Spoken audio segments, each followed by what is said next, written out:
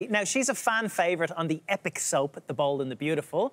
And since we last caught up with her, Jacqueline MacInnes Wood now has two Emmy Awards under her belt for her portrayal as the stylish and daring Steffy Forrester. With the series celebrating 35 years on screen, Jacqueline joins us now live from LA to spill all the bold and the beautiful gosh the show has in store. Hello, Miss Wood. It's great to speak to you again, um, as always. Before we get into the bowl, we have to congratulate you. You're expecting your third child. Thank you. Hey. It's so lovely to be here. And yes, I am expecting my third. I am eight months pregnant, so excuse oh. the mom brain if I forget a sentence or a question. So there's a lot going on here.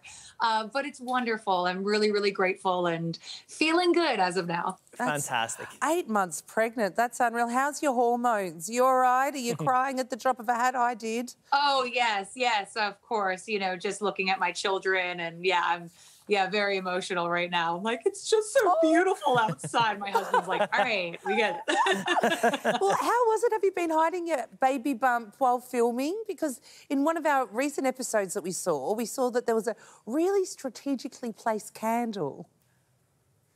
Oh, yes. Oh my gosh. I don't know how they do it. They the camera team is they're this is they i mean it's not their first rodeo they've done this hmm. since you know 1987 with Katherine Kelly Lang being pregnant. So they know what to do.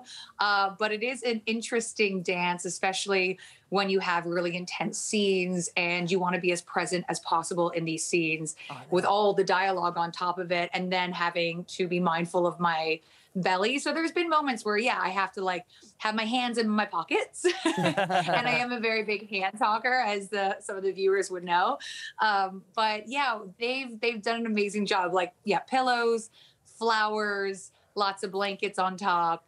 Uh, we're just trying to make it work. Oh, well, it's, it's such fantastic news. It's great to see you guys so happy as well. Since we last spoke to you, congratulations all around here because uh, you scored another Daytime Emmy Award. What was that moment like for you?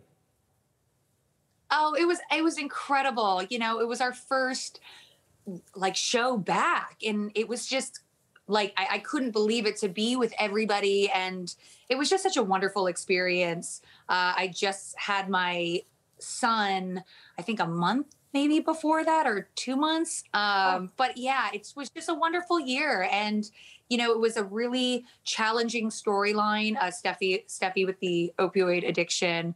Uh, it was, yeah, extremely heartbreaking. And, um, you know, I'm very, very honored for the, the award. You are a super mum. I've got two. And I and I try to tell people how busy I am, but this is you're unreal. Um, and, and also Bold is, Bold is celebrating such a milestone as well. 35 years on the air. Also, we hear it's your birthday next week as, as well. Happy 21st. Um, what has been your favourite storyline over the years? Honestly, I couldn't pick just one. There are so many. I mean, just the places that we've traveled. I have to say, Australia, Steffy's wedding was almost at the top of my list. I think at the top. I cannot wait to get back just being here with you. It just, I miss it so, so much. We had such a wonderful time in Sydney and we traveled all around Australia. So that was just a, an amazing experience to be with the cast and the crew. And I always tell like the viewers and the people on my Instagram or on social media, I wish I could take each and every one of you on our set because it's just such a an amazing energy and yeah i'd say that's like at the top of my list. Uh, but there's been like some challenging scenes as well and I, I, think it's kind of like a check like okay cool i accomplished that. But yeah i have to say the traveling has been it's been wonderful. Now we have a few questions uh, that the fans have sent in for you. First renee asks what is the hardest storyline you've ever had to do? Oh goodness. I i I have to say, well, the storyline I'm doing right now has been extremely challenging, uh, just because one, I am pregnant, and uh, it's emotional, and it's very, you know, Steffy has a son. Uh, I have a son, and so it's kind of like close to home, and just you know, you try to separate yourself. So that's extremely difficult navigating and being protective of, you know, of my belly and my baby. Mm. Uh, but also the opioid addiction. That was I was pregnant through that storyline Oh, too. Uh, not as far along.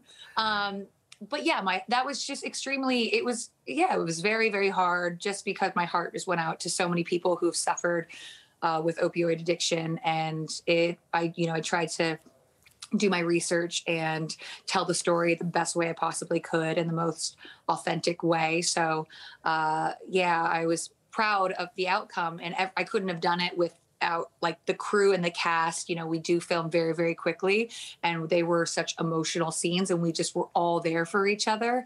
So, yeah, I'd say those two have been extremely challenging. Oh, great to hear. You're so you're so nice. Do you know what? But Derek wants to know: Oh. Could Steffy be kinder to Brooke? No, No, no, no. Next question. It's fun.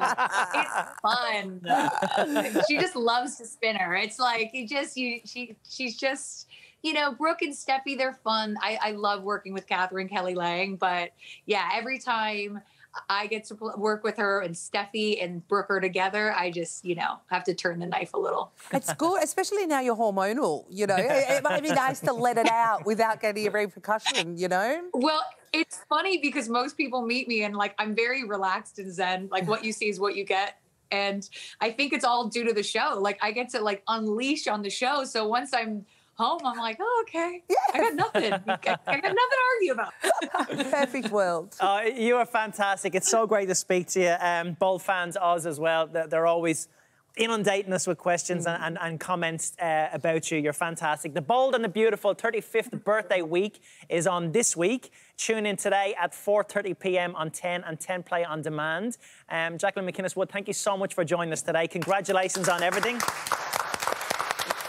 Thank you for having me. Lovely to be here. We can't wait till the next time we speak to you. All the best and happy birthday.